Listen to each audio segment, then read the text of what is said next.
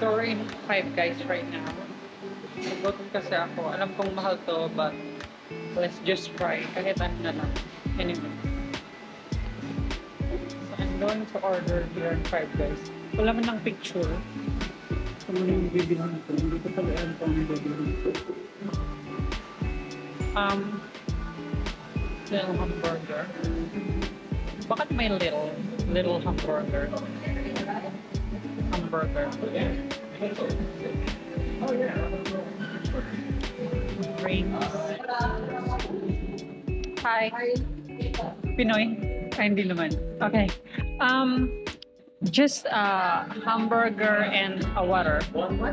Hamburger and water. Sorry? Hamburger? Yeah, little hamburger. Little hamburger? Oh, hamburger. Um, just the hamburger Okay, what? No? and one water. Yes. Do you want fries? No. Okay, the burger, uh, do you want topping? Ingredient? Do you want topping? Toppings. Yes. The topping, right? Um, how much to add? Want your leg piece with Oh, it's free. Yeah, it's free. Okay. The one you want. Yeah. Um, add. Can you add everything? Everything? Yeah. Because I don't know how to pick. There's so many. Okay. It's in 11. Eleven. Okay.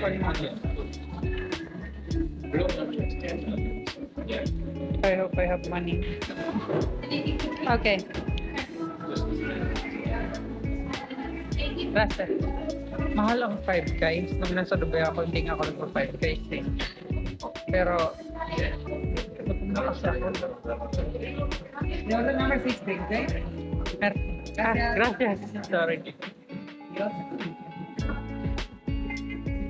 So, where should I sit? Dito na lang sa may ano. Sa may dito na lang kasi likod is my phone. Malambot. Dito ako sa may pinto actually. And we're just beside the, look at the building. We're beside the Sagrada Familia, the most famous landmark in the most famous landmark in Barcelona, Spain. So I'll just wait for my order. Tapos, let's see kung masarap pa to kasi mahal. I think this is from the US. Um, I always say this but I never tried it. This is the first time I'm trying it. Kung ako na-order ko, akala ko take out because they are put it in a paper bag. So, I just ordered water. Kaya pala mahal yung water, magkano ito mga 3 euro because it's Evian. It's the famous water from France, right? Evian.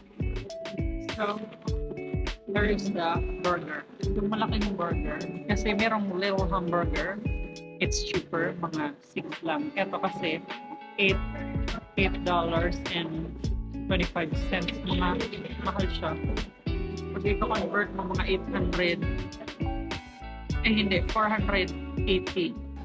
Parang ano din na, Shake Shack. Mahal.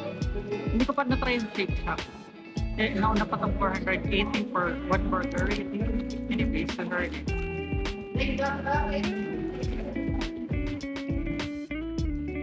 Oh, okay. Look.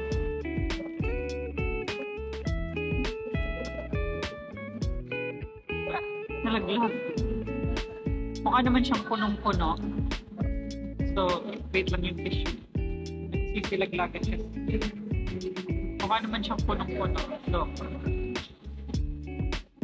So, five guys. I hope you're worth it. Let's see.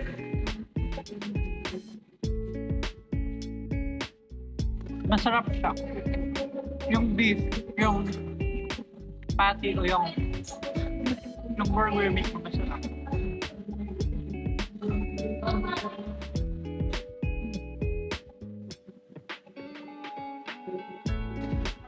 Naku. Mukhang baka medyo matagal na pa maubos ako sa medyo malaki siya. Pero kailangan ko bilisan kasi to be honest, I'm leaving Spain but isa pa lang na pagdahan ko, ito lang.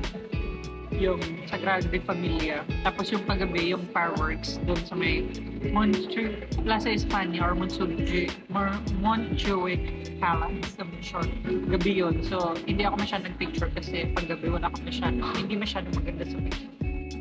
Nanood lang ako ng fireworks kasi sabi sa hostel may fireworks daw daw. Tapos eto, yung nilagay ko sa itinerary ko for Barcelona, napakadami kong pupuntahan. Pero isa pa lang napuntahan ko. Pero at least ito pinaka-important sa Sagrada Familia. So after nito, kung saan na lang. So that's it for the Five Guys Burger. It's masarap pero hindi siya yung parang extraordinary talaga yung lasa. Hindi kayong parang So, malaki siya. So, mabubusog ka. And it's pure beef, gano'n. Normal na burger, pero not so much like parang wow. Okay? Nalabas ko talaga yung patty dun sa bun. Kasi malaki yung feeling, malaki yung burger. So, nalabas pati yung mga pati. Mga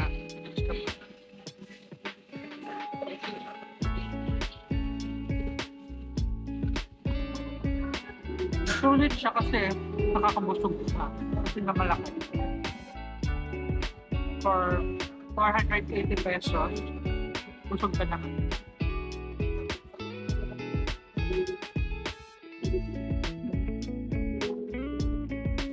Yung mga vegetables at ang kalaman na wala din sa bag. So, I, thi- I think I have the idea bakit sikat yung Five Guys.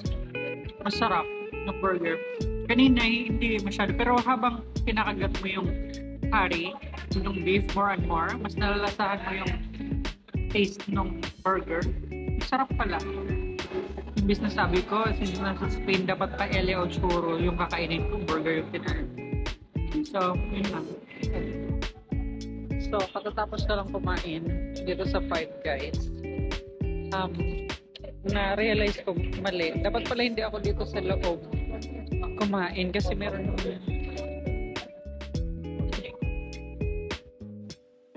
meron naman sa labas. Tapos mas maganda pa yung view ko. Kasi andyan yung Sagrada Familia. Pero dyan ako kumain sa loob. Dapat pala sa labas. Ano ba yan? Mas maganda yung view sa labas.